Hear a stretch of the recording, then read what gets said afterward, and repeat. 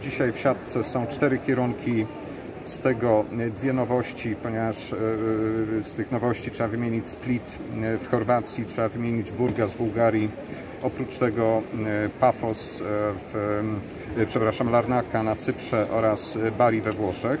Także linia lotnicza, która, która e, moim zdaniem świetnie dostrzega trendy, jakie w tej chwili w naszej branży, e, w sposobach i kierunkach podróżowania Polaków zaczynają być bardzo mocno widoczne. Chcemy podróżować na południe Europy, chcemy podróżować za słońcem, choć dzisiaj to być może trochę źle brzmi. E, przypuszczam, że dzisiaj wszyscy chcą uciekać od słońca, ale mm, to, co trzeba e, powiedzieć, e, generalnie e, siatka połączeń dostępna z wrocławskiego lotniska to jest blisko 80 kierunków. Z tego przeważająca część to jest południe Europy.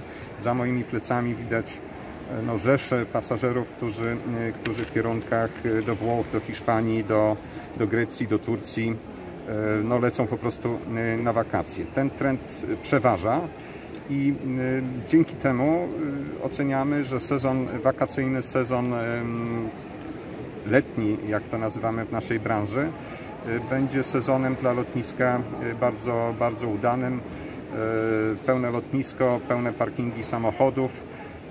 No i oferta samego lotniska, którą, którą przygotowaliśmy, to jest szereg udogodnień, których celem jest bądź uprzyjemnienie, bądź ułatwienie podróży na którą decydują się w tych, tych czasach podróżni.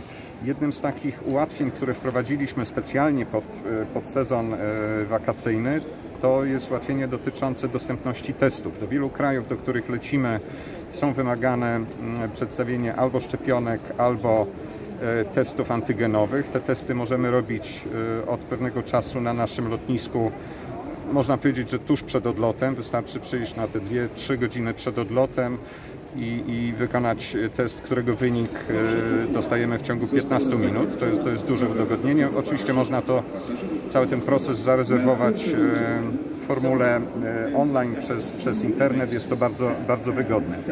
Podobnie dzisiaj obowiązuje, po powrocie do Polski, obowiązuje znowu przedstawienie świadectwa o zaszczepieniu bądź świadectwa o przeprowadzeniu testu jeszcze wykonanego przed przekroczeniem granicy. Jako jedyne lotnisko w Polsce wprowadziliśmy e, możliwość testowania przed przekroczeniem granicy. Stoi laboratorium, w którym znowu w 15 minut można zrobić test antygenowy, który jest honorowany następnie na, na granicy przez Straż Graniczną. W istotny sposób skraca to procedury graniczne, w istotny sposób skraca to czas, jaki musimy poświęcić na e, powrót, powrót do kraju. Te testy znowu możemy mm, rezerwować przez, przez internet, do czego generalnie e, bardzo mocno zachęcam. Także dziś, pomimo pandemii i tego, że e, na terenie lotniska i na pokładzie samolotu musimy nosić maseczki, musimy trzymać dystanse, to wszystkie inne procedury postaraliśmy się tak skonfigurować, aby były one w najmniejszym stopniu odczuwalne przez, przez pasażerów. Uśmiechnięte twarze ludzi, których widać spod tych maseczek, świadczą o tym, że, że udało nam się to zrobić na niezłym poziomie.